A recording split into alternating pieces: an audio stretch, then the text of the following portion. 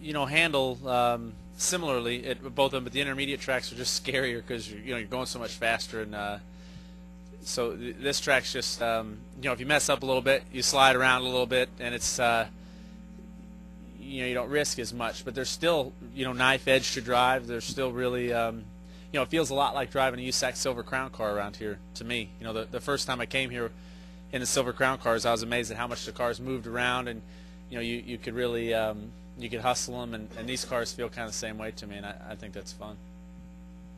Carl, you did a lot of pro- progress on the one and a half mile tracks. Yeah. Anything over the winter on a flat track like this that you can relate to in preseason testing to today or this weekend? Yeah, I, I think all the stuff we've worked on will, will, will apply. You know, we won at, um, at at Bristol last year with this car. And we won at uh, Dover, and um, we sat on the pole and led till we blew up here.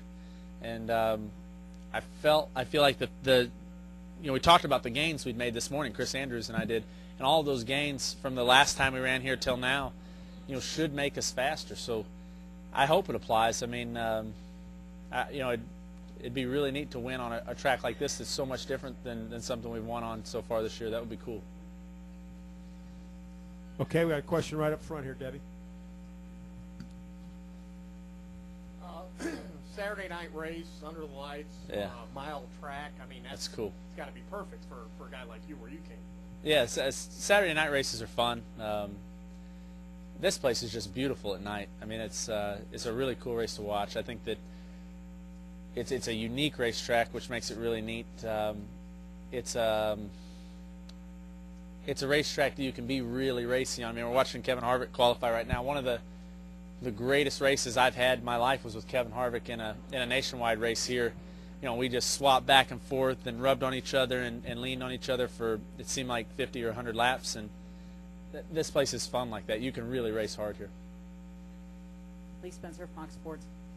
If um, we saw Jeff Gordon last week, how if you're a little bit off, you're way Yeah. far off. But that being said, the Roush cars, you guys are using the same sim stuff, sim data to set the call, cars are all up the same. What's differentiating the five drivers? You know, I don't know. The um, it seemed like last week. It seemed like cars came and went. You know, uh, you know Kenseth. You know, Matt, his car, when he was out front, he was untouchable. I mean, we could, I couldn't run what he was running. Um, you know, and then we got out front and stretched that big lead, and I, I think it, it kind of came and went. I don't know if it was uh, different tire sets or if they were that touchy with adjustments. You know, I, I thought it was aero dependent, but then I got behind Kyle, uh, you know, Kyle Busch, and I felt like I could catch him. And you know, and we got a good run on on the outside.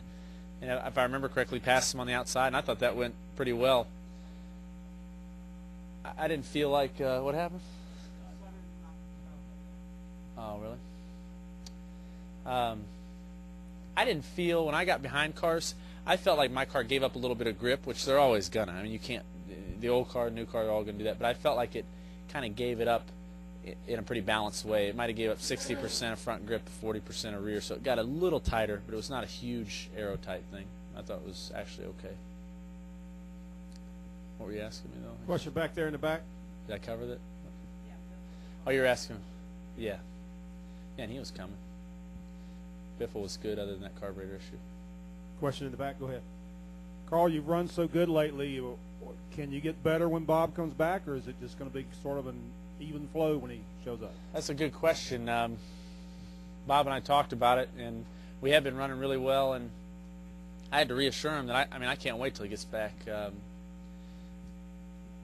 I didn't realize until he was gone. You know, you don't know what you got until it's gone. I guess is the saying or whatever. But um, I didn't realize how much of a relationship we'd built on the radio, how efficient our communication was, and um, nothing nothing against Chris Andrews or Robbie Reiser, but it seems like it takes us one or two back and forth, you know, in, you know, uh, transmissions on the radio to get the same thing done that, that Bob and I would do. So, uh, I think, and there there've been a couple moments that have been kind of confusing, and we've we've uh, you know we've made, made small mistakes. So I think when Bob comes back, we'll actually be better, which is going to be great. I'm looking forward to it.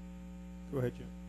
Jim Underhill Observer. Carl, you, you've had a couple instances with the penalty this year and then your blown engine. Yeah. Are you much of a guy to play the what if game? You sit back much. Yeah. You've had so much success. uh, despite those two instances, do you wonder sometimes uh, what it would be like if they had gone a different way? Yeah, I, I, I do, but I, hey man, doing all right? Sorry again, but I ran into Elliot's motorhome in the parking lot out there. Hey, it worked out pretty good for both of us. I, I'll run into it next week if you want. Um, Come come and check with me every time before you qualify Yeah, if, it, yeah. it's going to work out like this. all right. Um, I backed my truck into his motorhome just a little bit. Here, it's all good. I was paying attention to the mirror, and I should have been paying attention to the front headlight. That was my problem. I'm gonna start parking beside him every week. seem, to work, seem to work out. I told him pretty he'd good. go he'd go take it out on mine, but uh, didn't. Uh, You and Clint were doing that enough. yeah, just it. Okay, so um, no, I don't play the what if game. I, I really I think all you can do is focus on what's ahead. I think I mean Elliot or anybody else can tell you that. I mean you can't live in last week. This thing changes so fast, and um, I'm hoping we can get over that penalty. And I mean if we miss the chase by a couple points, then you know maybe we'll think about it a little bit then. But I, I think we'll be all right. Anything else for Carl before we let him go to nationwide practice? One more question from Dick. What happened to your motor last week? What happened to my motor last week?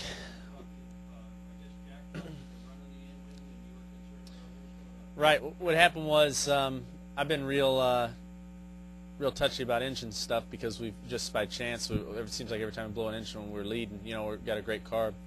And so what happened was Sunday, uh, they told me that the car had one of the cylinders leaked down a little more than they wanted it to on Saturday. They were being extra cautious and they did a leak down. They let it cool off before they did that, and um, looks like Jamie's doing pretty good here. And uh, and then and then they started it again, and then it was okay. So me personally, I was like, hey, if there's any chance of something being wrong with it, I want to change it. And man, we had a big powwow, and I was fighting really hard to uh, to get the engine changed, and and they said no, we're not doing it. Uh, you know, I mean, Jack said we would do it, but he said he he didn't think I was the guy to be making decisions on that, and uh, it ended up being a really good thing that we got it all aired out, and we, I learned a lot about the situation, and I think that uh, if we can work through everything like that, we'll be good. But what happened at Atlanta was was a deal where I thought maybe we could have handled it more like that, and it would have been better. You know. Carl, we appreciate it. We'll let you get out to practice. Good luck this week. All right, cool. Thanks a lot, guys. Hey, good job. Good job. Yeah. Thanks.